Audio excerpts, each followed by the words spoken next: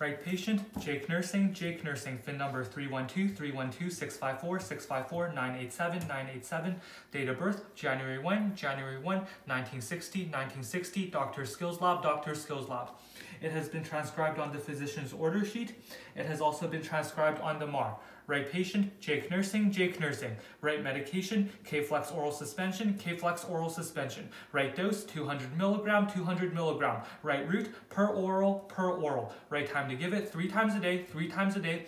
Given on March 12, 2020, given at 0800. Right now time is 0750, so it's okay to give Keflex oral suspension. Right patient, Jake Nursing, Jake Nursing. Right medication, Timolol 0.5 eye drop, Timolol 0.5 eye drop. Right dose, one drop, one drop. Right route to the left eye, to the left eye. Right time to give it, daily, daily, given on March 12, 2020, given at 2200. Right now time 750, so do not give Timolol eye drop. Right patient, Jake Nursing, Jake Nursing. Right medication, furosemide, furosemide. Right dose, 80 milligram, 80 milligram. Right route, per oral, per oral. Right time to give it, twice a day, twice a day, given on March 12, 2020, given at 0800. Right now time 0750, so it's okay to give furosemide. Next medication, Right patient, Jake Nursing, Jake Nursing. Right medication, metoclopramide, metoclopramide. Right dose, 5 milligram, 5 milligram. Right route, per oral, per oral. Right time to give it, three times a day, three times a day, given on March 12, 2020, given at 0800. Right now time is 0750, so it's okay to give metoclopramide. That's my first check. He does not have any known allergies. I will now perform hand hygiene. I'll put the physician's order sheet away. And now I'm going to get my medications. Can I borrow the phone? Thanks. And now first, here is my MAR, and now I will get all my medications. First, here is my Keflex oral suspension, and I'm checking it is not expired. Keflex is not expired. That is my Keflex oral suspension. Next medication I'm going to need to get is I'm going to need to get my furosemide tablet. I'm checking and my furosemide is not expired. Next medication I need to get is my metoclopramide oral tablet. Here is my metoclopramide oral tablet, and I'm checking and it is not expired. Okay, now what I do is I perform hand hygiene. And now I get all my medications. Keflex is 200 milligrams of it. It requires two, it is 250 milligram per 5 ml. So therefore I need to get 4 mLs to make it 200 milligram. Now I have my med cup here. And I also have my syringe. First thing I will do is I will shake the oral suspension. And the particles have all dissolved. And now I will pour up my Keflex oral suspension, 200 milligrams of it. And now I will cap the bottle. 250 mLs of Keflex, and now I will drop the Keflex. I will need 200 milligrams of Keflex oral suspension, which is 4 mLs of it.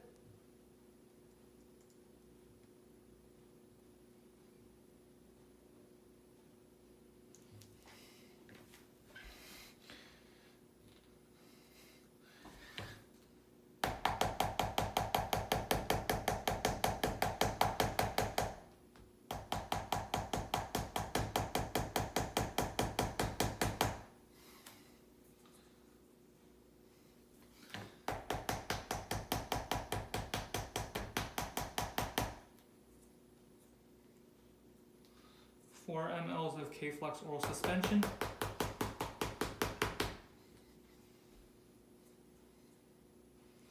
All right, and now I will put the cap to the side like this. Now I need to hit it a few more times.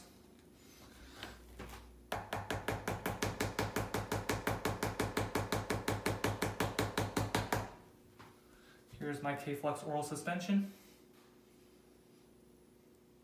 That's a little bit better.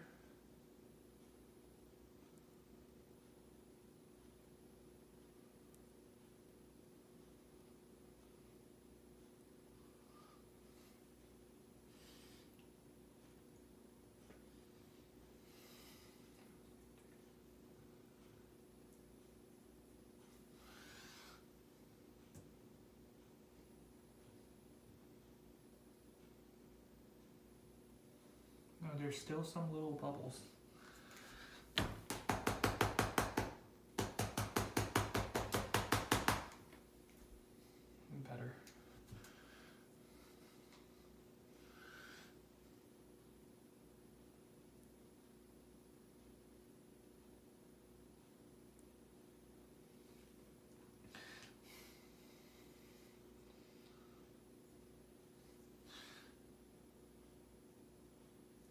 And here is exactly 4 mLs. Here, this cup goes in the med waste. Here is 4 mLs of my Keflex oral suspension. If you can see the 4, and then I'm going to spin it around. Here is 4 mLs of Keflex oral suspension. And now I will write down about it. First I will cap it. And now I will write down about it. This is 4. um, Jake Nursing. This is 4 mLs. Good. And this is Keflex PO suspension. And the right dose of it is to give 200 milligrams. And that means I need to give 4 mLs of it. That is because it is 250 milligrams per 5 mLs. And it's to be given on March 12, 2020, given at 0750, given by me, HYL University Manitoba student nurse second year. And that is my Keflex oral suspension and its label. Here is my Keflex oral suspension label. And next medication I need to get is I need to get my um, furosemide oral tablet. So furosemide is 80 milligrams needed. It's 40 milligram per one tablet. Therefore, I need to give two tablets of furosemide. Here it is, 40 milligrams. And now I will get my furosemide, two tablets of furosemide.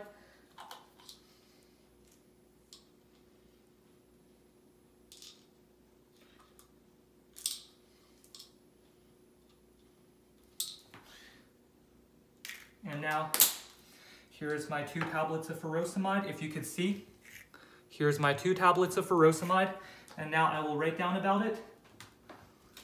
This is for um, Jake Nursing, and this is the furosemide oral tablet. And this is um, furosemide PO tablet. And the right dose of it is to give 80 milligrams, which is two tablets that is because it is 40 milligrams per one tablet. And the right time to give it is March 12, 2020, given at 0750, given by me, HYL, University Manitoba student nurse second year. And that is my furosemide oral tablet. Two tablets, and here it is. Here's my label for furosemide, given at 0750. Lastly, I will need to get my metoclopramide oral tablet. MAR says I need 5 milligrams. It's 5 milligram per one tablet. Therefore, I need one tablet of metoclopramide. I need one tablet of metoclopramide. And now I will, I will obtain one tablet. One tablet of metoclopramide, if you could see. Here's my one tablet of metoclopramide. And now I will throw it in here. And now I will write down about metoclopramide. And now here's my metoclopramide oral tablet. This is for um, Jake Nursing. And this is metoclopramide um, PO tablet. And the right dose is to give 5 milligrams, which equals one tablet. That is because it is 5 milligrams per one tablet. And the right date and time to give it is March 12, 2020 given at 0750 given by me, HYL, University Manitoba student nurse second year. And now here's my label for my metoclopramide oral tablet. And now, can I borrow the phone for a second? Here is everything. Here's my Keflex oral suspension. And then here is my furosemide oral tablet and my metoclopramide oral tablet, one tablet of metoclopramide, one tablet of furosemide, and 4 mLs of Keflex. Keflex, 4 mLs. If you see exactly 4 mLs. Okay, and now I will do my second check. Right patient, Jake Nursing, Jake Nursing. Right medication, Right patient, Jake Nursing, Jake Nursing. Right medication, Keflex oral suspension, Keflex oral suspension, Keflex oral suspension, Keflex oral suspension. Right dose, 200 milligrams, 200 milligrams. It's 250 milligram per 5 mLs, and I have exactly 4 mLs to make it I have 4 mLs to make it 200 milligrams. Right route, per oral, per oral, this is an oral suspension, and this is an oral suspension. Right time to give it, three times a day, given given three times a day on March 12, 2020, given at 0800. Right now time is 0750, so it's okay to give Keflex oral suspension. Next medication, right patient, Jake nursing, Jake nursing, right medication, furosemide oral tablet, furosemide oral tablet, furosemide oral tablet, furosemide oral tablet.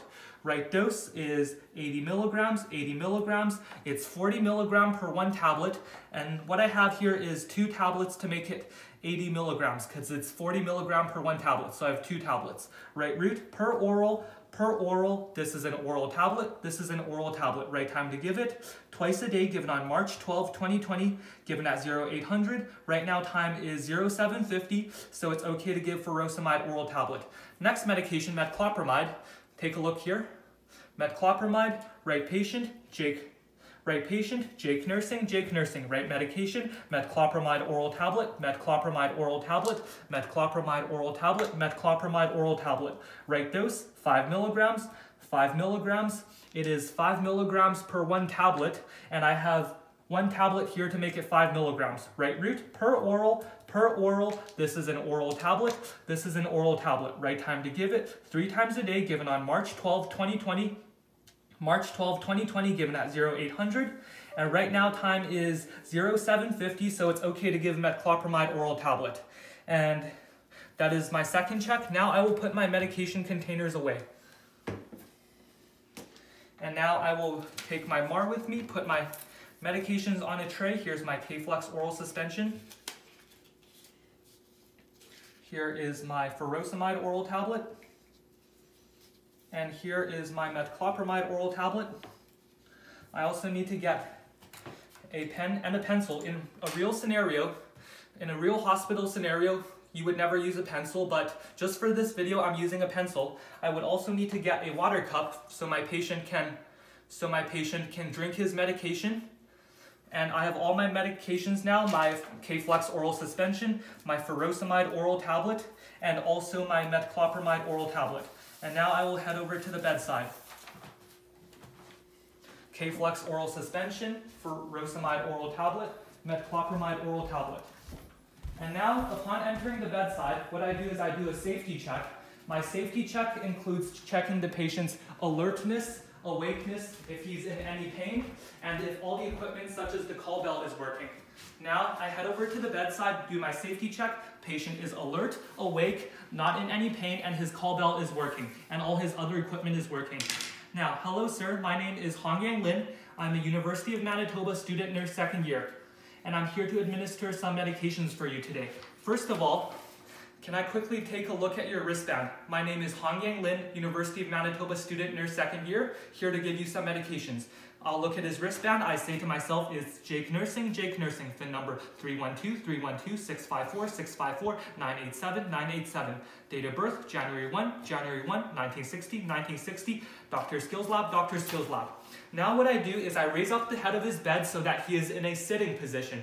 Now that he's in a sitting position, he can eat his oral medications. I now perform hand hygiene. Sir, can you please tell me your full name? And can you also tell me your date of birth? And do you have any allergies?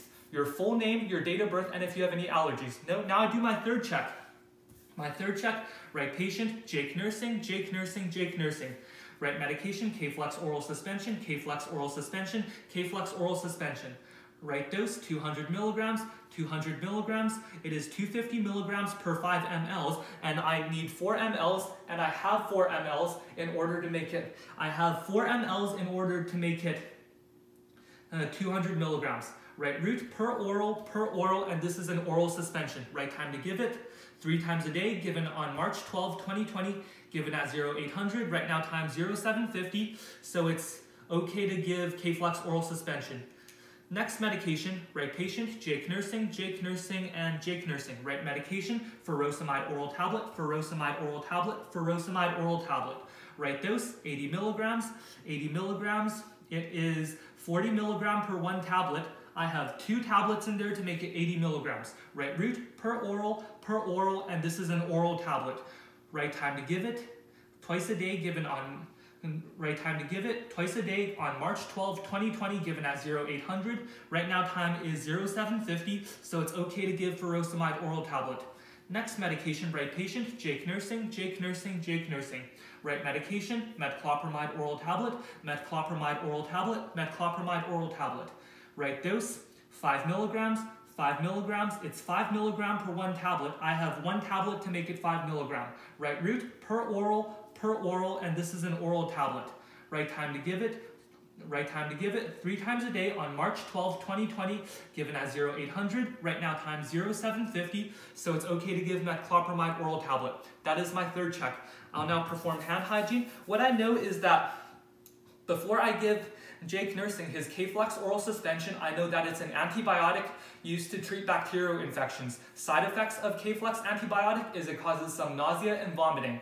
Before I give Keflex oral suspension though, what I need to do is check his full set of vital signs, check his kidney and liver function, check his fluid and electrolyte levels, inspect his area of bacterial infection, and also check his temperature because a fever is often accompanied with a bacterial infection.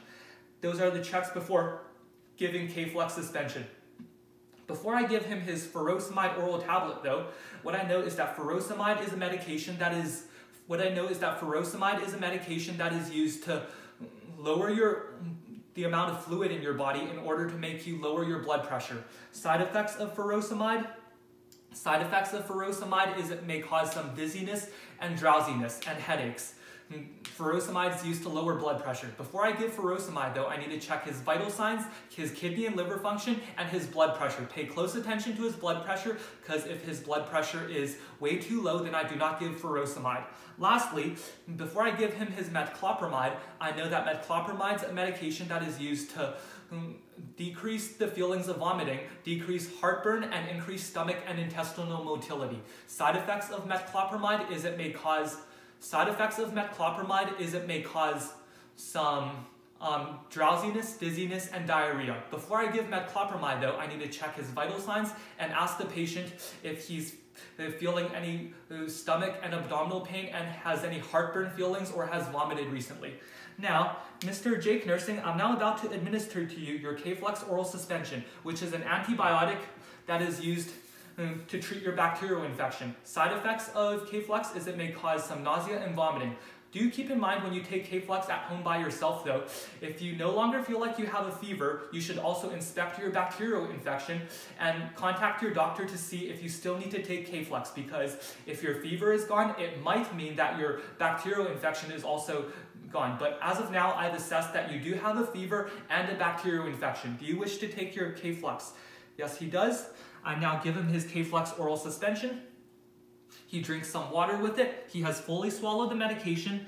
And now I document Keflex was given on 0750 given by me, HYL, University Manitoba student nurse second year and that is Keflex oral suspension. Mr. Jake Nursing, I'm now about to give you your furosemide oral tablet, which reduces the amount of fluid in your body and lowers your blood pressure. Furosemide lowers your blood pressure. Side effects of furosemide is it may cause some headaches, drowsiness, and is it may cause some headaches, drowsiness, and dizziness. Do keep in mind when you take furosemide at home though, if you're feeling lightheaded, drowsy, or dizzy, you should assess your blood pressure, check your own blood pressure to see because if your blood pressure is way too low, then it's very dangerous to take furosemide. But as of now, I've checked that your blood pressure is very high and your blood pressure is very high, so it's okay to take furosemide. Do you wish to take your furosemide? Yes, he does. I give him his furosemide oral tablet. He drinks some water with it and he has fully swallowed the medication and I give and I document it was given on 0750 given by HYL University Manitoba student nurse second year. Lastly, Mr. Jake Nursing, what I'm going to do is give you your metoclopramide uh, oral tablet. What I need to let you know is metoclopramide is a medication that's used to prevent the feeling of vomiting and prevent prevent you from vomiting, prevent the feelings of heartburn, and increase your stomach and intestinal motility. Side effects of metoclopramide, though, is it may cause some drowsiness, dizziness, and diarrhea. Do keep in mind when you take metoclopramide at home by yourself, though, it's very well known to make you feel it's very well known to make you feel very, very drowsy. So after taking metoclopramide, I would advise against, so do not do any focused tasks such as driving. But as of now, I've assessed that you do have feelings of heartburn and you have been vomiting recently, and you do complain of stomach and abdominal pain. Do you wish to take your metoclopramide? Yes, he does. I give him his metoclopramide. He drinks some water with it. He has fully swallowed the medication, and I document it was given on 0750 given by a HYL University Manitoba student in their second year. And that is the metoclopramide oral tablet. Now, can I borrow the phone? So here is my completed MAR where I documented everything with signed Keflex, oral suspension, furosemide oral tablet, and metoclopramide. And now that is everything. And here's my completed labels. Here's everything. And now what I will need to do is low, what I will need to do is now do an exit safety check. Thank you, Mr. Jake Nursing. If the side effects are very much bothering you, let me or another nurse know about it. I will now lower his bed to the bottom position, but keep him in sitting position to prevent aspiration of oral medications keep him in the sitting position and make sure his call bell is within reach so that his call bell is readily accessible. And now I do an exit safety check to make sure the hallway is not cluttered and the patient is feeling comfortable. And every, and every 30 minutes or so, what I need to do is assess his um, full set of vital signs, check his kidney and liver function, fluid and electrolyte levels, and assess his temperature and the site of his bacterial infection because he took Keflex. And because he took furosemide, I need to check his vital signs, kidney and liver function, and pay very close attention to his blood pressure. Because he took because he took furosemide, I pay close attention to blood pressure. Lastly, because he took metoclopramide every 30 minutes, I would also need to check his vital signs, ask him if he's still been vomiting, if he still feels the feelings of heartburn, and ask him if he feels any stomach and intestinal pain. Can I roll the phone? Thanks. One last time, I'll show you that I've completed everything. Here's my labels.